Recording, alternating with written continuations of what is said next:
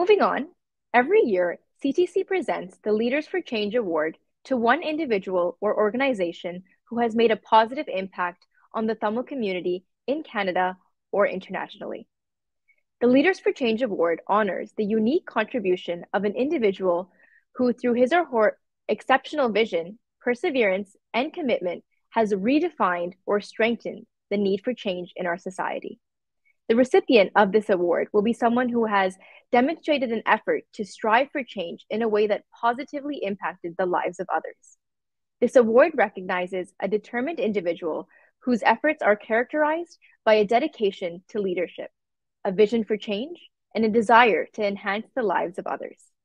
To introduce the recipient of this year's Leaders for Change Award, I'd like to welcome Ms. Vani Selvaraja.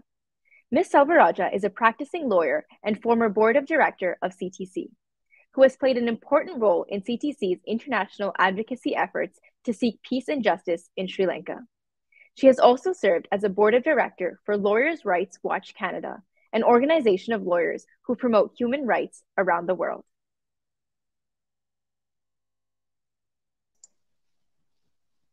Vanakkam and good evening.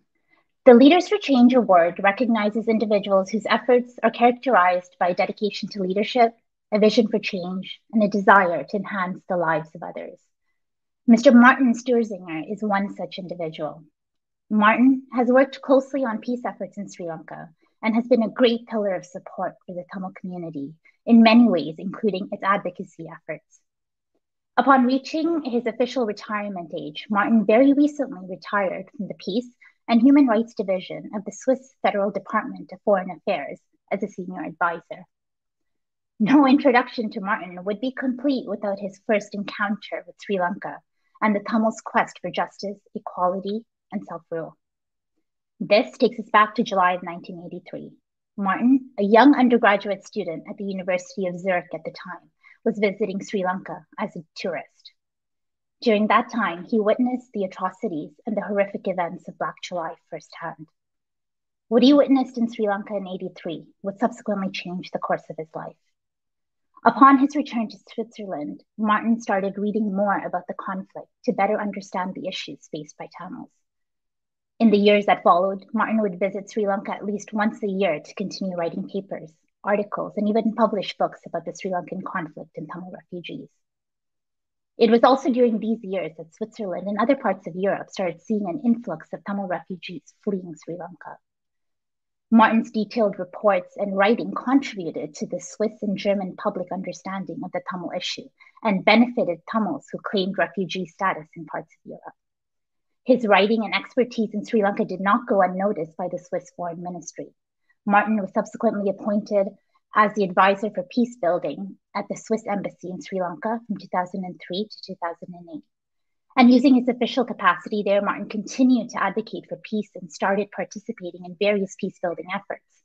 In fact, when the war came to an end in May of 2009, Switzerland, as many of us know, was at the forefront in post conflict reconciliation efforts and made many parties come together for meaningful dialogue. Upon his return to Switzerland, Martin actively engaged with the diaspora. He has assisted the Global Tamil Forum and CTC on numerous occasions. Over the following years, Martin would lead and facilitate various peace building initiatives, many of which were attended by CTC and GTF, including ones held in Singapore, Berlin, and Zurich. Martin has always been and continues to be an invaluable advisor, always just a phone call away, willing to engage, assist, and work with us. Through his unwavering interest in the issues faced by Tamils, his thorough knowledge and leadership, Martin has brought about many changes to advancing peace and promoting the need for sustainable political solution in Sri Lanka. Tamils worldwide, especially those at CTC, are grateful for Martin's tireless advocacy, his dedication, and his contribution towards the plight of the Tamil people.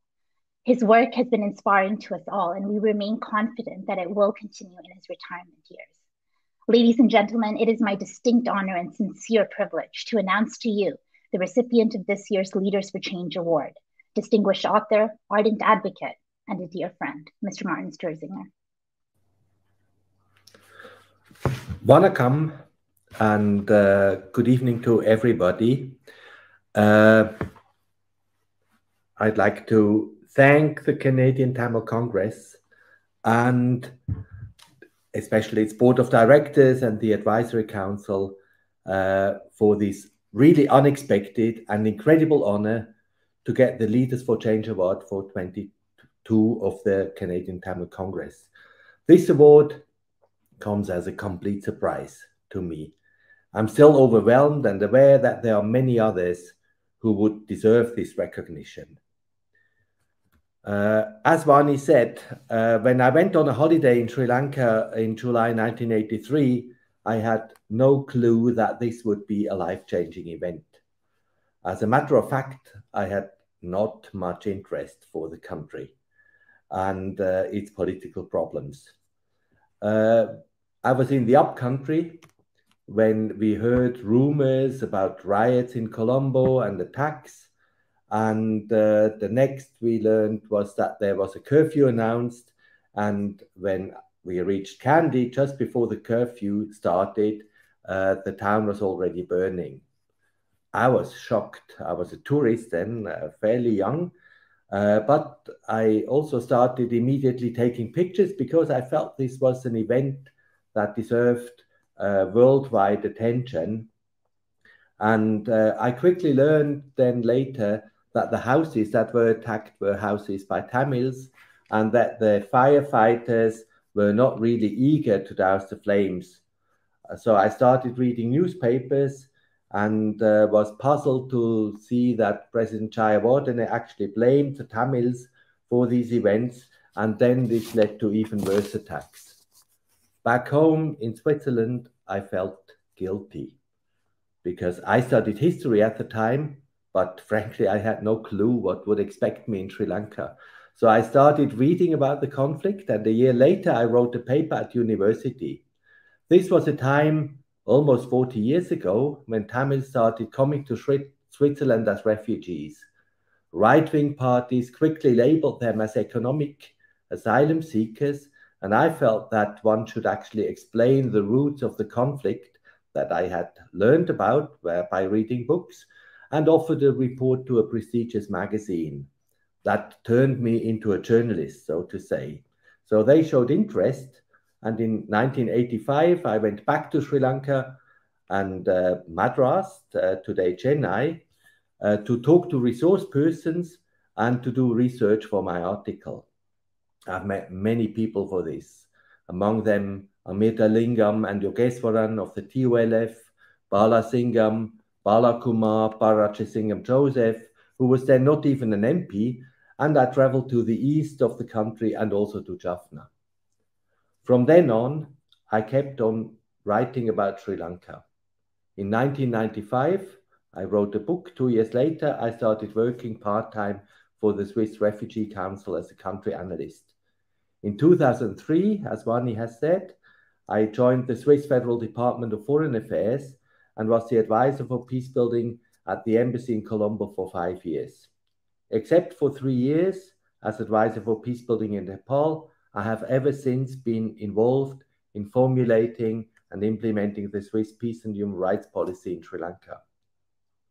We all know that the success has been rather mixed. So many people have died or have been killed.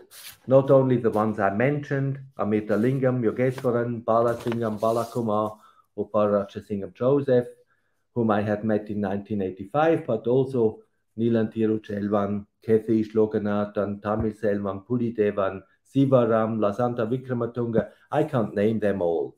People I knew, and some of them, to some of them, I was really close. Too many people have died in Sri Lanka. Too many have been tortured, traumatized, and too many have lost husbands and wives, sons and daughters, fathers and mothers, relatives and friends.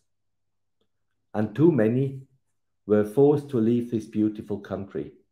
It is a miracle to me that many of them have not given up and continue to be engaged for a just, peaceful, and prosperous homeland where everybody has equal rights, human rights are protected, and reconciliation is fostered. I admire the perseverance and dedication of the members of the diaspora who continue to be engaged for their country of origin. This is why this award means so much to me. It is an award presented by persons who themselves have contributed to change in Sri Lanka and actually much more than myself. That the Canadian Tamil Congress decided to present me this award humbles me. At the same time, I consider the award as a request to double my efforts. Thank you all for the trust and this incredible honor.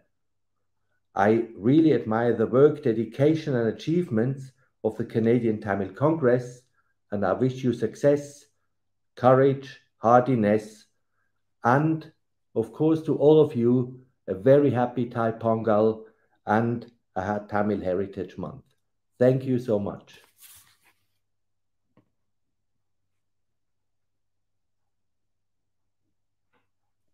Thank you so much, and congratulations, Mr. Martin Stuerzinger, on being the recipient of this year's Leaders for Change Award.